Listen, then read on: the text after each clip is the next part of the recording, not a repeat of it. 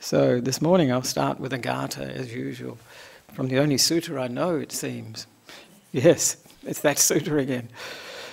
Mata pitu upadanang puttadarasa sangaho anakula chakamanta etang mangalamutamang sadhu sadhu sadhu.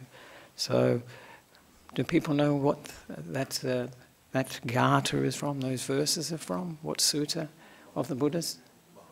Yes, the Mahamangala Sutta. Yes, you're sure now, you're absolutely convinced. This is the only sutta he knows. so I do know a few others, but not by heart perhaps. So this one, the translation of this is supporting one's mother and father, looking after one's children and partner, uh, having an uncomplicated livelihood, sometimes translated as like a peaceful one or a simple one. Um, and these are the highest blessings. So, supporting one's mother and father, looking after one's children and partner, having an uncomplicated livelihood, these are the highest blessing. So, this is obviously, I think people are probably seeing where it's heading towards. They're probably thinking, what is he going to talk about? Last week I talked about uh, respect for parents. And I was going to include uh, a section in that on gratitude to our parents, thanks to our parents, but there was not time. And I would like to have done that because the talk before that had been about gratitude, so it linked very well. But today I thought I'd talk about uh, gratitude or thanks to our parents and how we repay them. So this is, it's a bit of a shame actually, there's not many kids here today to, to actually hear the talk but it doesn't matter. We all have parents, so this is a, um, some reflection for all people actually. And one of the one of the things that came to mind for for me actually when I was thinking of this talk almost immediately was uh, these words. I'll ask you, then give you a quiz. Who said this? This is a quote from. It's like a poem, really, extended poem. Your children are not your children. It's actually more about children, but no matter. Your children are not your children. They are the sons and daughters of life's longing for itself. They come through you, but not from you. And, and though they are with you, yet they belong not to you. Lovely words, aren't they? Yeah, absolutely. Goddamn one. not a difficult one. So, your children are not your children. That's a bit of a contradiction, isn't it? Most parents think, come on, come on. Uh, they are the sons and daughters of life's longing for itself. We would say in Buddhism that they're the sons and daughters of their karma. Their karma is bringing them back to a rebirth in the human realm, good karma, and uh, with particular parents, with uh, because of that karma, that link, that karmic relationship. And I remember last time we talked about those uh, difficult parents, you know that you know uh, that people are born with sometimes you know, we say the parents from hell. And they come through you, so Kahlil Gibran says in the Prophet, they come through you, but not from you. Now that's a very important distinction. That often in the West, people, we, we don't take that point of view because we, in the West, there's not this idea of rebirth. So, in other words, they feel, we feel that our children are the product of um, our relationship and how they turn out is how we shape them for, for better or worse, actually. But in a context of Buddhism and, um, and uh, spirituality in Asia in general, we would say that they come from previous lives. So therefore, they come through you, but not from you. So it's a quite a it's a very important distinction actually, because it it means that you don't take total responsibility. You're not totally responsible as parents for how your children turn out, whether it be good or not so good. And though they are with you, you certainly know that, most parents know that, yet they belong not to you. And I think most parents experience that very, very much in the teenage years when, when the, the children are separating, as it were, psychologically and physically often, often the case, breaking away from their parents.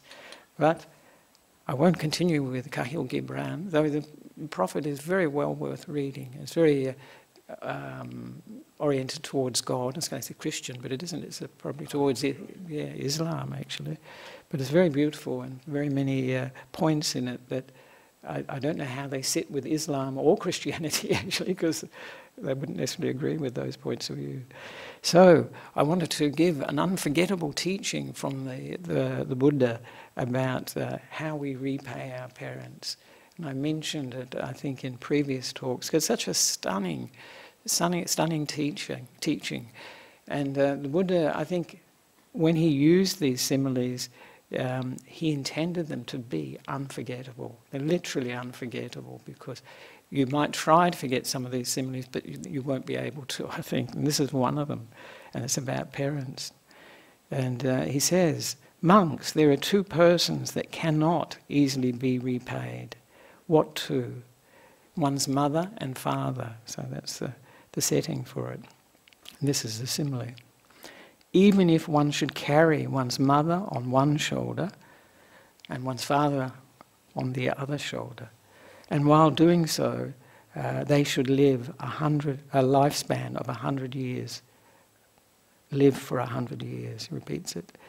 And if one should attend to them by anointing them with balms, by massaging, bathing, and rubbing their limbs, and even and they even void their urine and their excrement there, one still would not have done enough for one's parents nor would one have repaid them.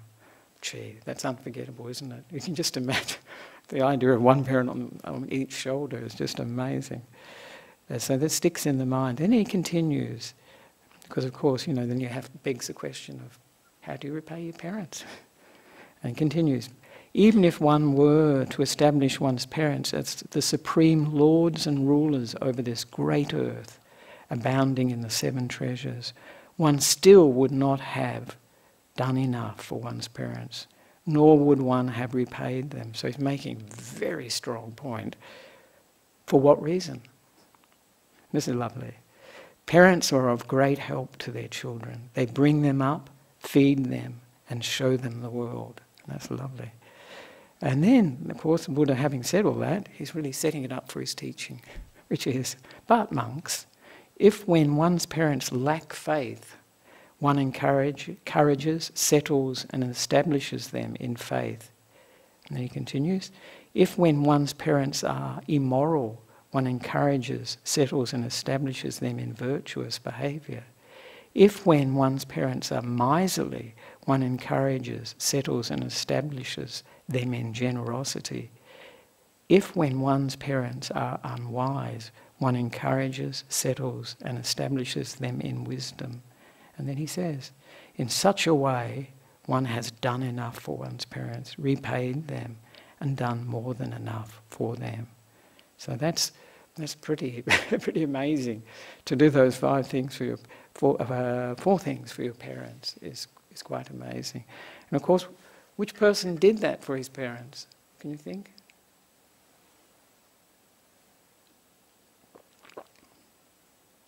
The Buddha.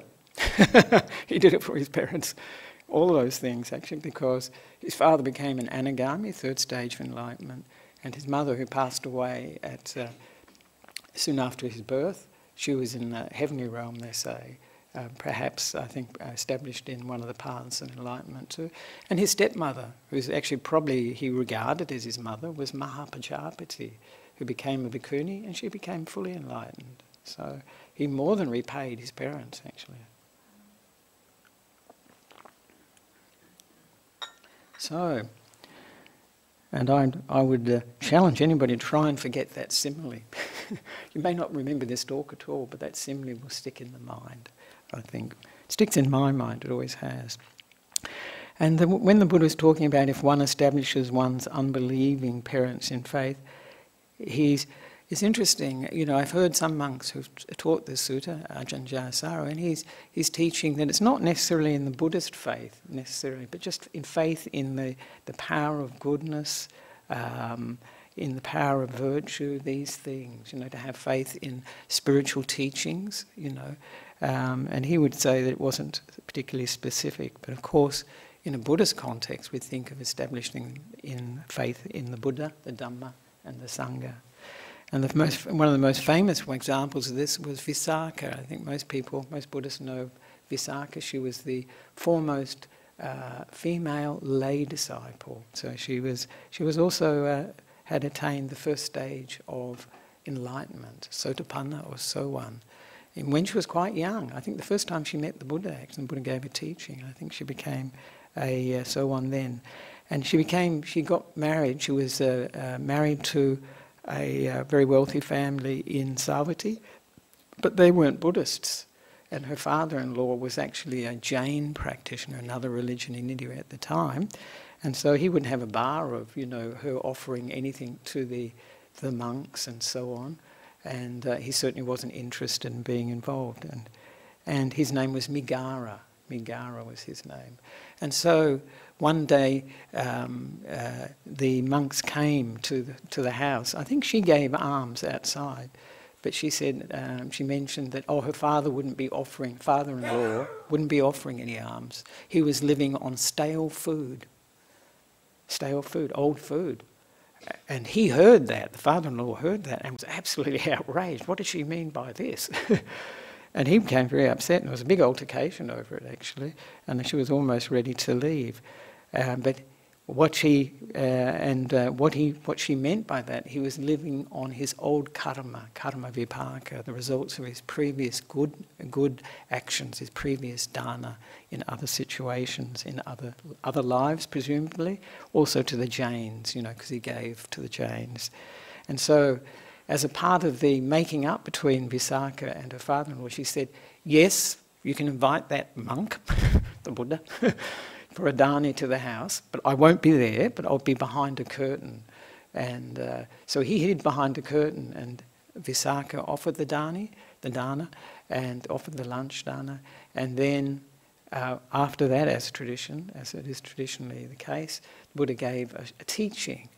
And uh, at that teaching, her father-in-law gained faith. He became, I think he even became a sotapanna, a sowan at that time, sitting behind the curtain. And so forever after, she was, uh, she was known as Migara's mother. Well, he, yeah, she was known as Migara's mother. So her father's was born into faith, as it were, into Buddhism. And uh, this is uh, what, uh, what she did for him. Very interesting, I'll mention this one too, because this is more stunning in a sense. Venerable Sariputta, you've heard of Venerable Sariputta, he was the foremost of the Buddha's disciples in wisdom, wasn't he? But believe it or not, his family had no faith in Buddhism. Interesting, isn't it? His mother in particular. Uh, Sari is, uh, Sariputta, of course, what does it mean? It's son of Sari. So this must have been her name, actually, Sariputta. Um, and she would, he was from a Brahmin family, so very proud and probably very traditional. And it was only when Venerable Sariputta came, returned to his family home, and uh, when he would return, actually, on all the occasions that he returned, she would often scold him and, and uh, you know, belittle Buddhism and uh, run down the Buddha and all these sorts of things. But when he returned home, just when he was about to pass away, he was going to die, he was staying at her home, and uh, all these beings, celestial beings, heavenly beings, were coming to pay respects to him because he was passing away. And uh, they say uh, in the text that Mahabrahma, this is the greatest one of the, all these heavenly beings, still impermanent, came to pay respects. And when these beings come, heavenly beings, they, they're like huge amount of light. And his mother saw this light coming from the room and asked him, you know, what was going on. And um, so uh, he told her that Mahabrahma had come to pay respects because he was passing away soon. And then, only then did she realize, and only then did she gain faith in her son. He's the foremost in wisdom. So you would have thought, you know, that she would have been the first on board. but she wasn't. And it was only when he was passing away that she gained faith because she realized Mahabrahma, who she worshipped, who she thought was the ultimate in the universe, in, in uh, existence, he was coming to pay respects to her son, whom she had completely, you know, uh, um, discounted actually, and was obviously often very negative about. But faith is very important. Uh, it's not, in Buddhism, of course, faith is not the basis for the religion. Like in Christianity, Islam, Judaism, you have to have faith in God, Jesus, or the Prophet. If you don't, you're not a member. But in Buddhism, faith is not the defining characteristic. Of course, you have to have some faith in the sense that you think it's worthwhile listening to the Buddha's teachings, worthwhile perhaps practicing, trying them out, and worthwhile um, finding out the results. But the Buddha's teachings always aimed at experience, our experience. And I always point out that the Buddha's wisdom is his wisdom, it's not ours. It's only borrowed until we realize it. And that's what he wants us to do walk the path. He says he cannot walk the path for us. We have to do it. He just points out the way. This is a very different approach, faith, where faith, uh, the role of faith. But faith is important, or confidence is important, because it gives us energy and it leads to the what we call the five indriyas. So if you have faith, then you have energy. You think, wow, this is worth trying out. And then after that, you can develop mindfulness, sati, uh, as a, as a, uh, because you've got this energy, this interest, and the teachings are pointing at the present moment. And from that, one can develop samadhi. This is one pointedness of mind, where you can really go deep into things. And then once we've gone deep into things, can develop wisdom and understanding of things that we quite different from what we perhaps thought before. Because wisdom and insight in particular is always going to surprise us, always going to shock us, because we, we have an idea of the world, and then insight actually shows us, no, it's not like that.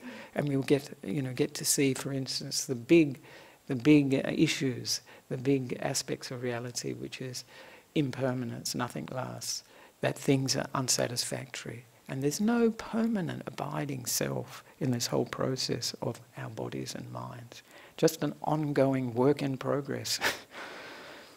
and then the second thing the Buddha uh, talked about was but if one establishes one's uh, immoral parents in virtue. So this is very important actually. I think if you could even manage one of these four, I think you're pretty you're on your way to repaying your parents actually. Very much so I think. So if one's parents are immoral and one establishes them in virtue, why is that important? Because if one does that, that's the basis of merit. That's what leads to our rebirth. It leads to our happiness here and now. Because if, if we're immoral, if we, for instance, kill living beings, particularly human beings, we'll be in trouble. If we steal, it's going to cause a lot of problems for us in this life. If we break up other people's relationships, uh, this is like adultery and so on, affairs and whatnot this causes incredible damage and, and, and unhappiness in this life. And of course, if we tell lies, that can also create uh, a lot of mistrust, for instance, and unhappiness uh, for people. And alcohol and drugs, they're a good basis for all the others. and for a lack of clarity, a lack of sensitivity to what. Uh, what's really happening in the present moment. So this leads to a good rebirth. It leads to happiness here and now and a good rebirth. It's also the foundation for meditation. If we don't have sila, when we sit down to meditate, these things will return to us like homing pigeons. They'll come back. What I said, what I did, will come back to us and will disturb the mind. So they give a basis for meditation, for the uh, uh, developing meditation, but also they're the basis for practicing the Noble Eightfold Path and developing wisdom. They're so important. In fact, I think uh, virtue or sila, morality, ethical conduct is number one. Number one. If people do nothing else, this, this is a great contribution to their own happiness, the happiness of people they come into contact with, their family, their friends, the, uh, the people at school and work, be, and also to the society they live in and to the world. And most people are not interested in becoming enlightened. Now, I would say that's probably number one. And so this teaching on Sila is, is, is perhaps the most important because it will lead to a happy life here and now and benefit so many people. And then people may want to go on, develop the meditation and develop the wisdom that liberates. But if, first of all, if they stop killing each other, stop stealing, breaking up relationships, stop lying and taking alcohol and drugs. That's a great contribution. And the third thing that the Buddha was talking about, uh, think it's number, yes, yes, number three, is, uh, but if one establishes one's stingy or mean parents in generosity, and uh, this is uh, the basis for merit too. This, is, this leads to uh, good results in this life and in future lives. But unlike um, unlike virtue, keeping the five precepts, it doesn't lead you to a, necessarily to a good destination. So, in other words, people who only do dana, they'll get a, wherever they are reborn, it'll be good quality. Whatever it is, that life will be good quality. Um, and for instance, I say, you know, we see here pets in Australia, we see dogs and cats and so on. Some of them live in the lap of luxury, better than people do, do in many countries. And I say, ah, they were practicing dana, they were practicing generosity, but they weren't practicing virtue or uh, moral conduct, ethical, with ethical conduct, ethical behavior, because that's what leads to a good rebirth. Dana, I say, you know, giving generosity leads to quality control. You get good quality, whatever the rebirth is but it doesn't determine where you're reborn. So, number one is, of course, ethical behavior, ethical conduct. And the fourth thing the Buddha was talking about, but if one encourages, settles, and establishes one's ignorant parents in wisdom, isn't that a funny term, ignorant parents? Maybe there's a better word for that. I don't think they'd be very happy with that. So, even though I said with faith, it may not be that when we establish somebody, our parent, one of our parents in faith, it may not necessarily have to be the Buddhist faith. If we establish them in wisdom, it's pointing to Buddhism actually. Because the most important thing, what is the most important thing in terms of wisdom? It's the, the key to the path, really.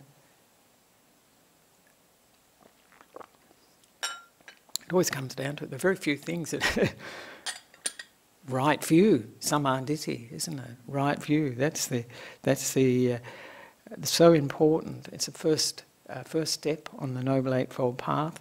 It's the basis for the path, actually. And this is the view that there is karma. There are results from what we do and say and think, and there is rebirth. There is dana, giving. There is the power of giving. It does actually have a uh, result, a, a very powerful result. And interestingly enough, the Buddha says, and that there are parents. So he's, he's saying this is part of right view too, that our parents are special, we have a special relationship to them. And he mentions them in right view. The fact that he mentions them is really significant because he could mention a lot of other things, but he doesn't. And the last thing that is a, an aspect of right view is that there are enlightened beings or awakened beings in the world who, who have seen by their own direct insight, direct experience, the nature of this world and the other world, you know, life here and other lives. And of course, this is a right view. If, if you can take it further, you know, the, of course, one could establish one's parents in the Four Noble Truths. And this is the teaching that the Buddha always gave when people were ready. And when they were ready to, to hear that, they often became enlightened, a stage of enlightenment after hearing this. And uh, yes, I was mentioning last night Ugga, Ugga uh, from Hatha, Hathaga, no, Hatha, Hatthagama, Hatthagama. And he was a very interesting case in point. He, he was into partying and everything. And um, he, was, he had uh, four wives, four young wives, they said very beautiful, attractive. And he was into partying and uh, one night he was partying and everything, and obviously went on into the morning, I'd say. And uh, he was he was totally drunk. I think it sounds like it. And he came met the Buddha. Perhaps it was early that morning. The Buddha was going on alms round or something. And he said the first they say the first thing is he became dead sober when he saw the Buddha. And after that, uh, the Buddha gave him a teaching. I don't know if exactly at that same time. It doesn't seem quite the right time, but uh, he gave him a teaching. It was a gradual teaching. And then he mentions, and then he brought in the Four Noble Truths. And uh, um, Ugga of Hatthagama, Gama, he became an anagami listening to this teaching. Just from having been in party mode, completely in party mode, with these, these dances. And he had, the interesting thing is, it had repercussions. It had repercussions because as soon as he became an ana, uh, anagami, he was not interested in sex at all, sexuality. And so he said to his four wives, you know, you can now you can stay at home if you wish, but I will be regarding you as sisters, you know, like sisters. But he said, I'll give you the choice. What you, if you wish to go back to your family home, no problem. If you wish to remarry, no problem.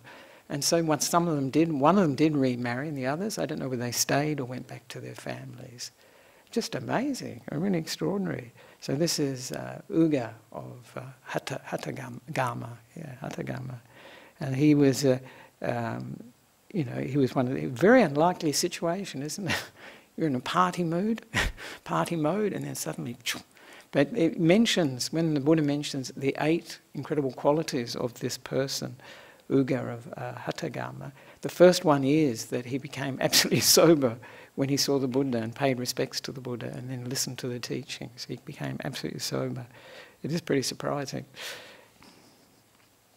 So, if we establish our parents in all these four, of course, such a person has done enough and they more than repay their parents. As, as I said before, if you can manage one of them, fantastic. and in fact, you know, if you look at it as a sequence, don't you, you can see that if you can establish somebody in faith, then the others will flow from that in actual fact. Like the indriyas, I mentioned that if you, um, if you develop faith, you'll have energy. If you have energy, then you can apply it to, to mindfulness, sati, uh, being here in the present moment, remembering the teachings is a part of sati as well. And then the mind can develop samadhi, this one pointedness, and then develop wisdom.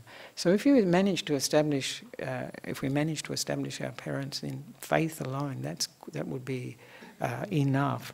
Of course, if one established them in wisdom, that also that relates to the other factors as well, because they would see uh, in wisdom, in right view, dana is important, parents are important, virtue is important because of karma.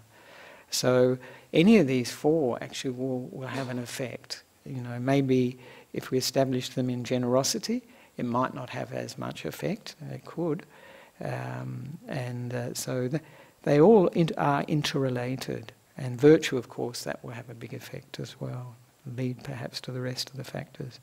So last week I mentioned the duties of um, children to their parents from the Sigala Ovada Sutra.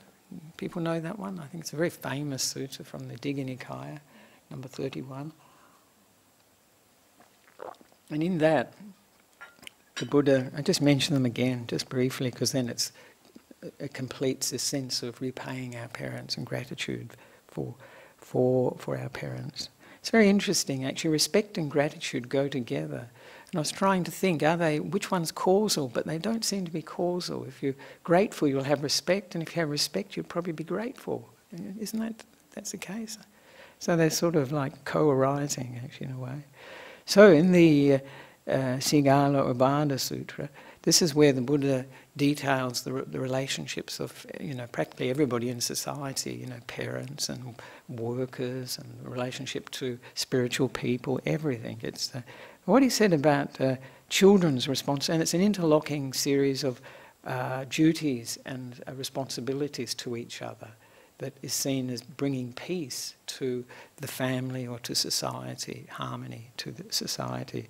And sometimes monks will make the point, and I know Ajahn Brahm has, it's a very different perspective from our idea of rights. You know, we talk about children's rights. Maybe do we talk about parents' rights? I've never heard that actually. children's rights we hear about, but not parents. Um, we have an idea of rights. This is how you know our uh, you know our right. We deserve this. But the Buddha is actually not talking like that. He's talking about in a very practical way the things that bring us together, bind us together, and lead to peace and harmony. And this is what he recommended for children uh, in supporting their parents or repaying their parents. Duties, perhaps, yes. And this is his own words. Having been supported by them, I will support them. Having been supported by them, I will support them. So this is especially when they're sick or they're old. But it doesn't really, I mean, he doesn't really specify that. So it could be any time, you know. And you'll see that in, uh, in uh, Asia, Asia particularly, in Sri Lanka, sometimes you see it, that the children, children are doing their, their uh, parents' jobs, helping do them. They're working, um, maybe in the fields, working in the shop, whatever, at a very young age. And uh, the second thing he said was, I will perform, uh, that's the They'll support them. I will perform their duties for them. That's what I've just really talked about, especially when sick or old. So help, help out. And this is not only, you know, in the workplace, of course, at home, helping with the duties at home and so on, which uh, I think most parents would like if their children would help out, and, you know, just clean up after them and, you know, uh, not leave the dirty socks on the floor and all these sorts of things that parents mention. And the third thing the Buddha mentions, I will keep up the family tradition. So this is like these uh, good works that parents do, things that they are part of the family tradition in Asia and in Buddhist countries. This is a very important, uh, sort of heritage, you could say, or a legacy. And last, uh, no, not last, fourth is I will be worthy of my heritage. And this is um, like their inheritance. So it's being worthy of uh, what their parents will give them when they pass away. So to be um, as good as children as possible, as good people as possible, and to preserve the uh, family property as much as possible, to be worthy of my heritage. This is more like inheritance. And then, when the parents have passed away, this is a very Buddhist one, I see it. It's, it's the basis of dana sometimes, is after my parents' death, I will distribute gifts on their behalf. And we dedicate the merit to that that person who's passed away, our parents. But very often, you know, of course, as a Buddhist monk, I see with the, with the meals we, that are offered to the Buddhist monks, either the breakfast dana or the lunch dana, is often in memory of somebody. And we always, I always actually mention that, that we can dedicate the merit, share the merit with those that have passed away. And that is important for, for uh, a number of reasons because it means that it's not just for our benefit, because actually we get the benefit first whenever we do anything good, whether we give food, clothing, medicines, or shelter to monks, nuns, or anybody else for that matter. We get the benefit first. But in terms of sharing the merit, then we feel like it's of benefit to others it may benefit those that have passed away. And this is very good psychologically to, to think, ah, maybe I'm helping my mother and father or whoever it is who's passed away with this gift, the sharing of this merit, bringing them to mind, remembering them. It's a very powerful, powerful thing. And of course, the best memorial to anybody that's passed away uh, is good actions. If one's done something good, said something good, these things are the things that are like the best memorial. You know, you go to the cemetery, these tombstones and whatever, very nice, but it's really the good things people do that are the best memorial. And I thought of that when I saw uh, someone was mentioning to me recently, their husband was having some cancer treatment at the Olivia Newton-John Hospital and they, they don't charge, uh, they, they're not uh, private, they're not private, they, they don't charge uh, their patients. I thought, fantastic, what a good memorial for somebody, you know, like her, that she did it. Of course, her name's on it, but it's a, it is a good memorial, something good that she did, actually, which has had big repercussions. So, so that's the more Buddhist reflections on um, uh, parents, but there are some things that are, you know, it's good to reflect on, more general reflections, is that with our parents, it's good to remember their goodness and kindness for sure. To focus more on that is, is, is, a, um, is more beneficial for us than to focus on their failings and their negative, negative qualities. Um, because then we can feel a sense of gratitude for those qualities. And of course, you know, as I mentioned last week, uh, in psychology, we often blame uh, parents for a lot of the problems children experience in their lives. And as I said, from a Buddhist perspective, this is not the whole picture, because they've brought a lot of the, the, they've brought baggage with them, good and bad baggage with them anyway.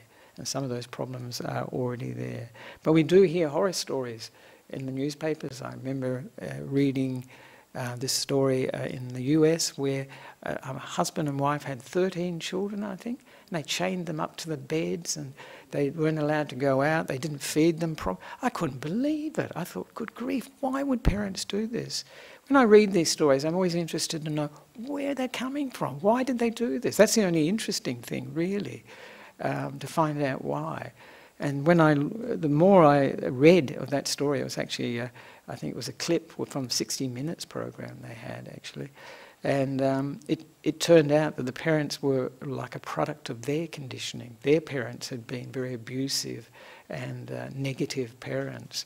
So there are parents that, um, you know, are like that. And I, I do reflect, and you might reflect too, I don't know if this is true, I'm not a sociologist, that possibly in countries where we have a belief in uh, rebirth and we have a belief in respect for parents and elders in general, maybe this sort of abuse by parents is less. This is just my, is a possibility. Why do I say that? Because if, if one has got a, a if there is respect for a person, one tends to look up, uh, try to live up to that, isn't it? And that's very true for monks and nuns. And it's a reflection that Ajahn Brahm is often telling us as monks, and probably tells the nuns too, you know, to be worthy of the support we get, you know, because we rely on other people completely. So this is a, possibly it is in countries where there is respect for parents and elders, there may be less of this abuse. I don't know in Sri Lanka. I don't hear of these sorts of cases so much. That doesn't necessarily mean they aren't around, but I don't hear of them. They don't make the newspaper. And this actually brings up one of the things I'm always grateful for. When I read these stories, I don't know for you, if you read these stories of the horror parents, you know, the parents from hell, I always think, oh, I'm so grateful. My parents weren't like that.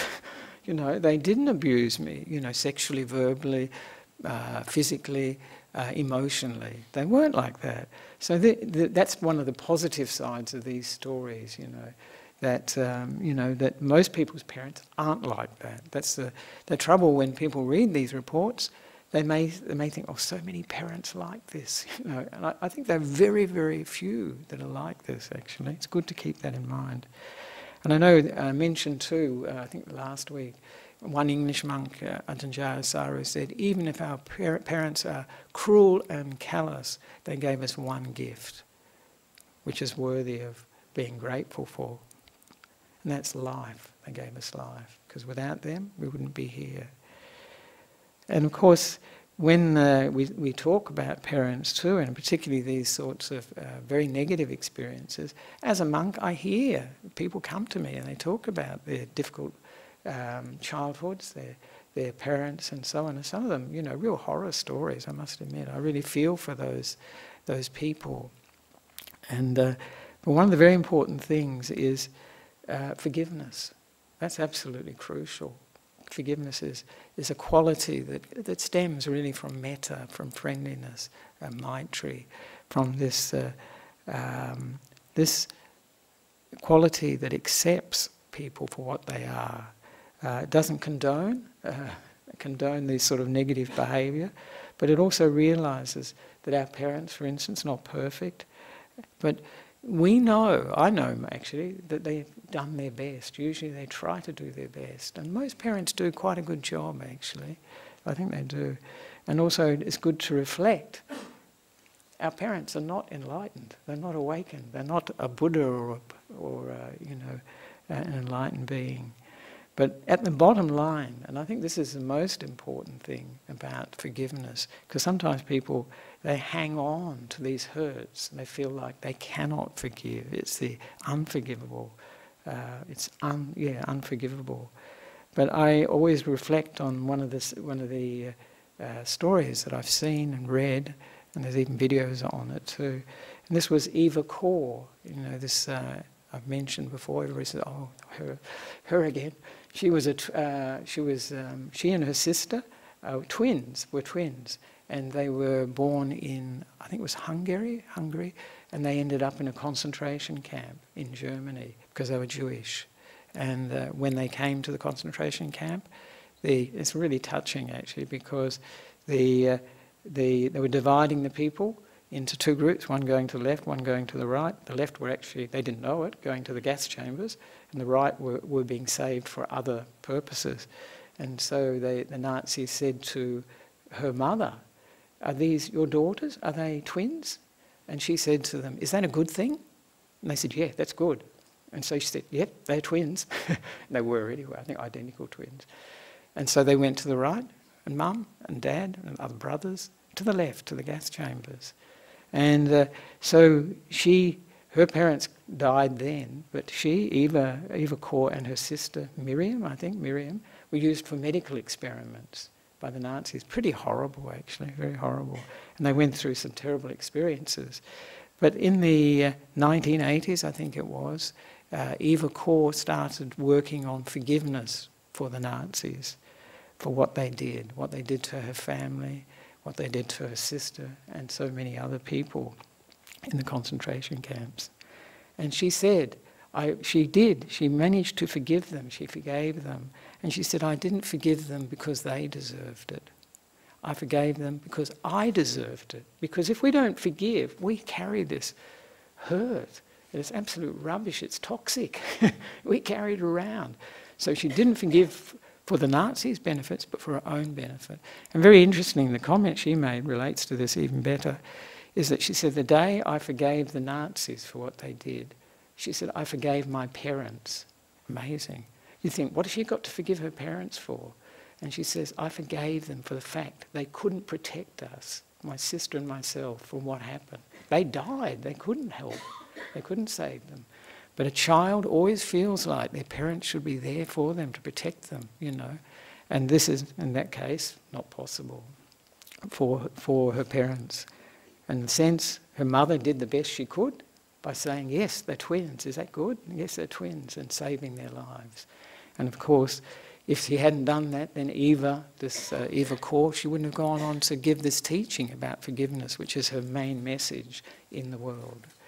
It's not a popular message, from, uh, from what I understand, for other Holocaust survivors. They look on her as being a betrayer, uh, a traitor, traitor, that's the word.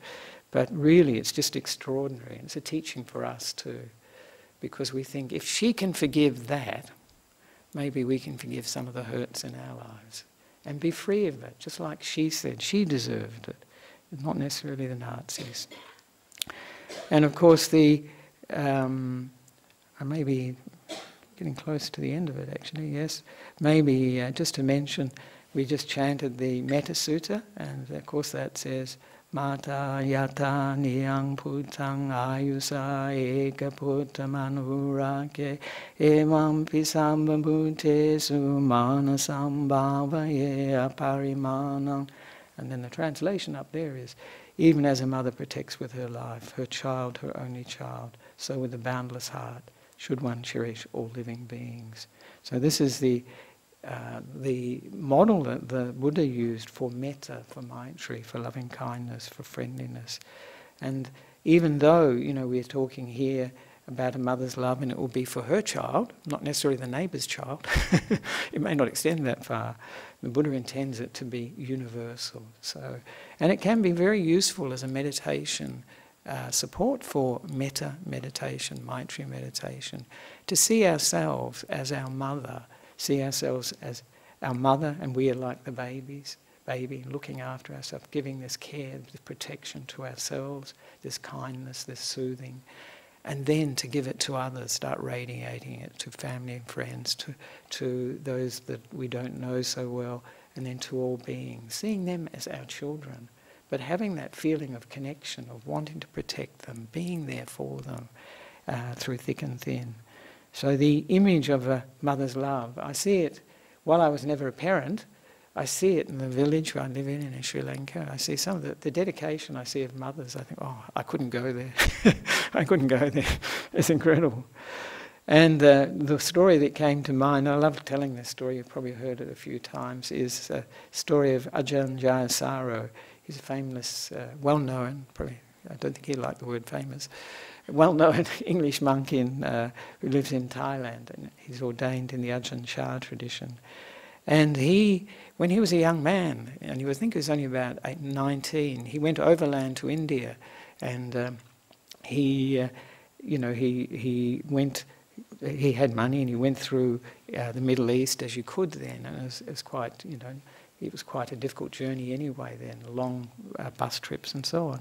He went to India and lived as a sadhu, lived as a hermit in a cave, um, not as a Buddhist hermit by any means, which uh, I think is, he is, was the aim of his going to India. And he did that for quite a while and uh, lived on next to nothing, cooking lentils every day, this sort of thing. And uh, after he, uh, you know, had run out of money and uh, everything, and felt like he'd achieved what he wanted, he decided to go back to England. But he wanted to do it the hard way. Do you know what he did? He didn't have any money. He decided he wouldn't use any money. I don't know if he had any him. May have run out of it, would have been quite convenient actually.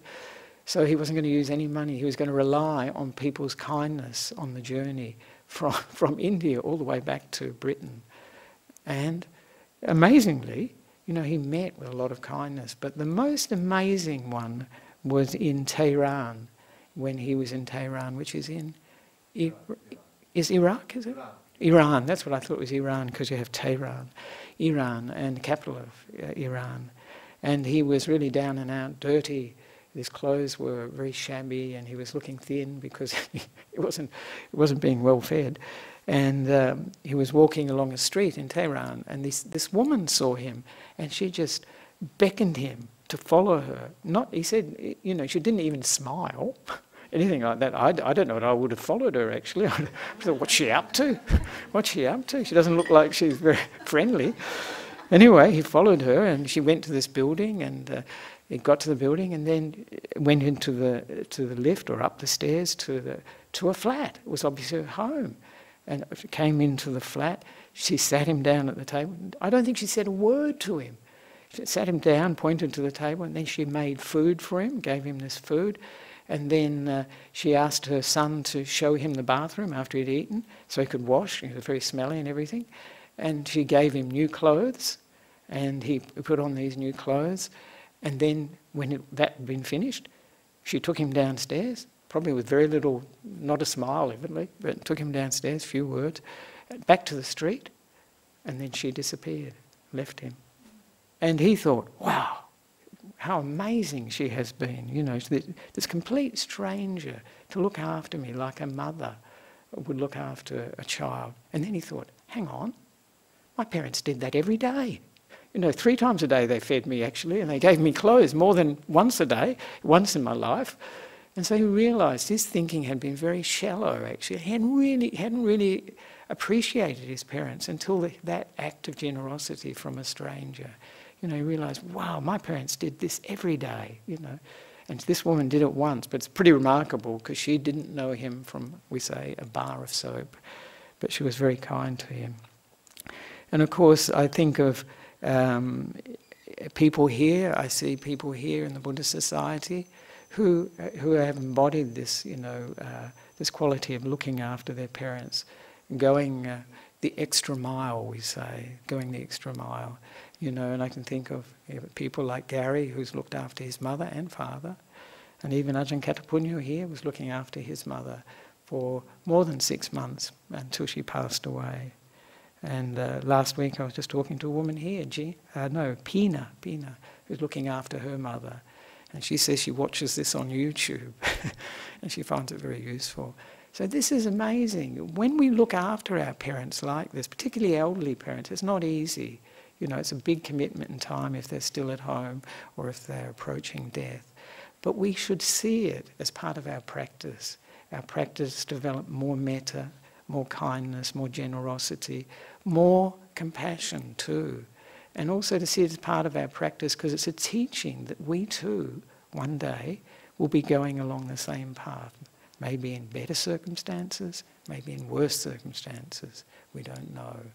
So this is something that it's very good to see it in terms of our practice and not something that we, you know, is uh, obstacle to our practice. It's not an easy thing to do, to, to commit your time to look after an aging parent.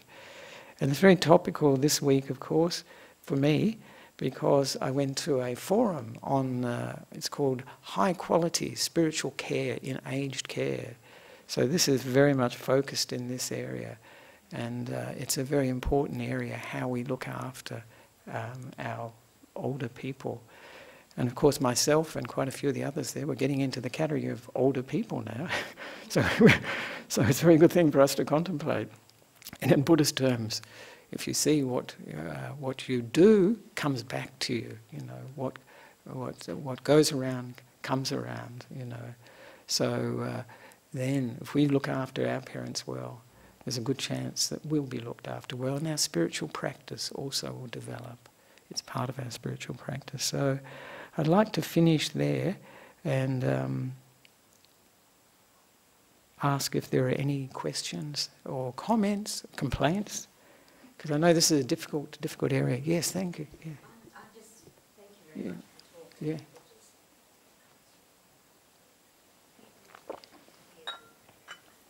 Thanks, Helen. Yes, good. good. Uh, Bhante, thank you very much for the talk and mm. a very appropriate week for us because earlier in the week there was a program on Four Corners yes. about um, some of the uh, aged care and what's going on in our nursing mm. homes and um, its a problem of of course of government and of sort of some rather greedy corporations but also mm. you know that responsibility we have to our parents I mean some people just seem to end up in these homes and no one visits them. It's, it's just a tragedy. Yeah. So thank you. Thank you, yes. Yes, I, when I was at this, um, on Wednesday, I was at this uh, forum on high quality spiritual care in aged care. They were talking about that program. Some of them were very upset by it because they felt like it's not the whole picture, and of course it isn't. And the convener was saying she was busy texting another another one of the participants at this conference because she was so you know oh no. I mean, obviously there's there's I, have visited people in these homes, yeah. and obviously there's there's staff that really do care about yeah, them, and, and, you know Four Corners singled out some pretty intense cases, but That's it it does make you think, and it does make you worry as you're getting yes. older do you think we, you, yes, we can think, will I end up like that, you know, with that sort of treatment and so forth? I always, I think that's a very good point. It's also good to remember there's part two I heard of this program, so let's see what part two brings. This is the horror side, the horror stories that, that comes with it, and always that clash between money and care, actually. It's a sort of, uh, uh, you know, at the uh, at this forum, they were saying that if one were to fund more care, then some of the services that you have to have, you don't might not need to have because the care may address it instead of having particular extra services. But uh, people like to fund something that's tangible, you know, which is a bit, it's a bit, um, it's a bit sad. So. So I think this was, uh, you know, it's, it's, it's an area we need to, to look at, and certainly this forum was very good for that. Yeah. They were, the incredible, I, the thing I was amazed, these people are in, in, in this industry, we call it aged care industry, it's an amazing term. It's awful, isn't it? I don't like the word industry myself, but it's depersonalizing immediately. But uh, they are so enthusiastic and passionate and kind, compassionate everything. Wonderful, actually, to see. Their, their energy was just amazing. Even the, um, the person who's the regulator for the Australian standard on aged care facilities, he was there and he was great. He had a lot of, you know, he was really compassionate, kind sort of person. Yeah. Yes, if there are any other questions. Um, Comments? Having been through this myself, how do you deal with parents that disown you? Oh, right. How do you deal with parents that disown? Because of something that you've done that doesn't resonate with their, you know? Yeah. Yeah. Yeah. yeah. Oh, that's a very interesting thing. I think, uh, you know, you, you, can only do your best with parents disown you, you know, and try not to, you know, it's pretty hard, I would think. I don't know how you took it, but the sense of rejection, it could be enormous, actually, you know, to feel that your parents have disowned you. Uh, and to be able to forgive that is, is not easy. It's a hard one because parents, you know, the ideal we have for parents, and uh, it's, it's, it, it is an ideal, but it is a practical thing, is a, a parent that's there for you no matter what. As Ajahn Brahm puts it, the door of my heart is always open to you. That's what his father said to him, you know. So the parent that can be there with you no matter what you do is, is really the ideal. And some parents can go there, some parents can't. For those that can't, we have to have forgiveness for, for, for their shortcomings. You know, and later they may regret it, they may think, oh, we shouldn't have done that, you know, because for anybody to disown another person is quite a strong act, you know, and that will create a hurt for them. You, you don't really, you don't really want to take revenge, as it were, but you know it'll have consequences for them to have done that is, is a strong thing. Because it's not only from um, children to parents, it's parents to children too. So for them, that, that's something that they have to live with as well. So if you can forgive for your own benefit, if not, you know, not for theirs, they may have passed away by now. So, um, you know, this is good to keep in mind, forgiveness. Yeah, I hope that sort of answers it a bit. It's not an easy thing. Some of these things are not easy at all, actually. So there we are. Uh, This was more of a comment, but I was uh, listening to Helen there about the Yeah. program. I didn't watch the program, but I um, was it. aware of, of, of a lot of what was in it.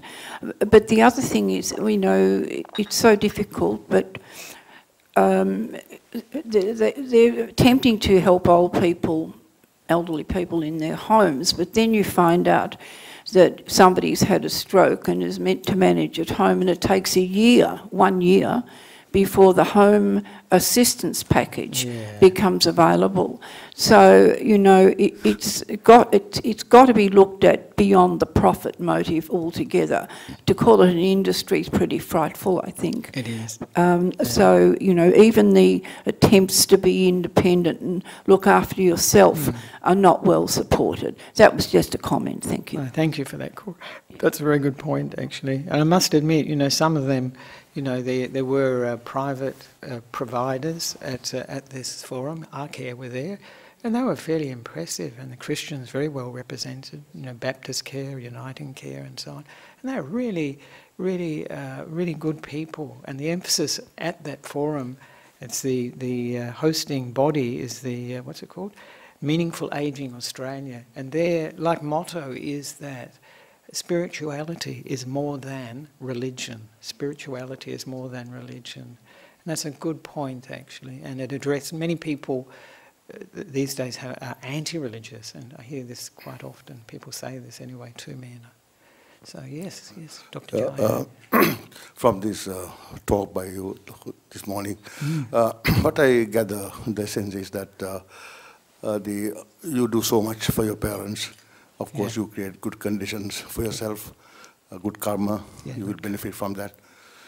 But uh, a little you do in the way of putting them into the right path with, as you said, right view, giving Dhamma to help them to understand Dhamma and to deliver from samsara, that is uh, for deliverance, that is suffering, is far greater. Little you do to get out of samsara is far greater than the merits you accumulate by looking after them.